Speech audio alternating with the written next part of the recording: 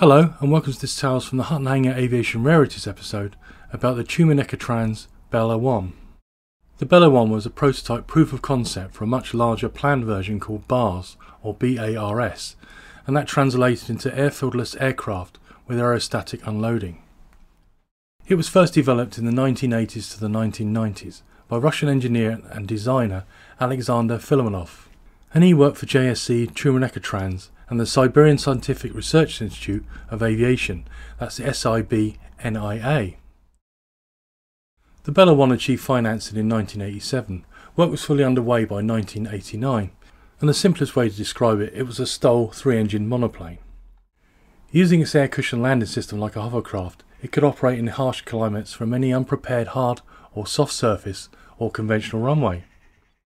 After a short takeoff run, the combination of aerostatic lift, propulsive lift, and increasing aerodynamic lift gets the aircraft quickly into the air. So simply when it takes off, the big fan power is reduced, and the aircraft flies pretty much like a conventional aircraft. The aerostatic lift reduces the power requirements in all flight modes, climb, cruise and descent. This all-in-one aircraft for example, would save changing aircraft configurations on aircraft like the Antonov 2 from wheels, floats, and skis, so that would save downtime. It also considerably offer more range and endurance over a helicopter, and the hovercraft skirt capability would be ideal for any surface it would operate from. Two 210 Teledyne Continental piston engines pushed it along, and the third one of 110 horsepower was located inside the vertical tunnel that passed through the centre of the disc-shaped middle part of the wing.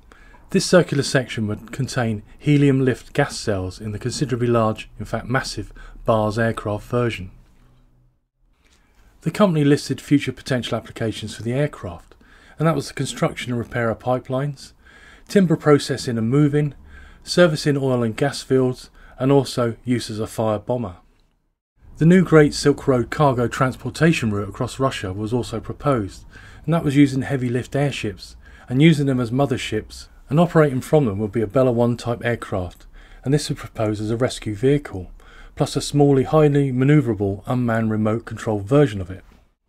The BARS aircraft would be capable of speeds of around 300 kph, much faster than airships and most helicopters. It would also have a much longer range than helicopters.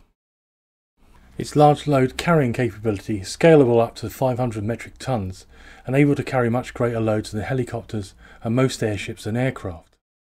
This beast would have short takeoff and landing or STOL capabilities, and that's from any surface ground, water, marsh, snow, ice, or a conventional airstrip. And it would be able to operate without any ground crew, more like an aircraft or a helicopter than an airship. It'd be good in crosswinds for stability on the ground, much like a conventional aircraft. High efficiency, lower cost of transportation, along with lower cost per mile than helicopters. In 1991, the USSR collapsed and the newly formed Russia was gripped by a severe economic crisis. All this delayed work on the single Bella prototype until 1994. And according to test pilot Boris Dmitriev, and he said the aircraft performed responsibly and demonstrated good stability. The flight took place at a very low altitude. It didn't climb higher because the engines were weak. There simply wasn't enough money for more powerful ones.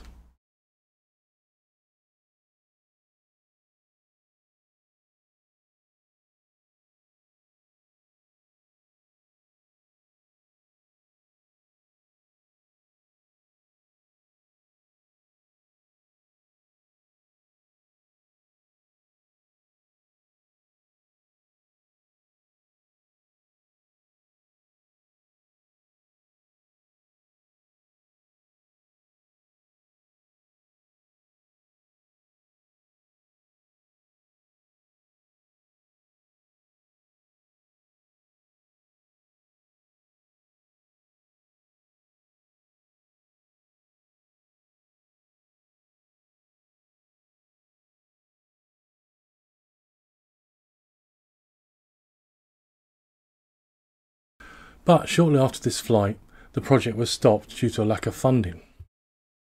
But that wasn't the end. In 2012, the European Commission allocated over 700,000 euros to test the concept under the new name of EST OLAS, and that stood for Extremely Short Takeoff and Landing on Any Surface. So the Bella 1 was used for development, and you can see from the photos here taken around 2012, it looks slightly different, with larger cabin and a boxy engine nacelles. From what I can make out, it only did taxi runs, and in the end the program fizzled out again. As for Bella 1, it may be still stored, and if anyone has any information, please let me know. I hope you enjoyed that. That was a bit different.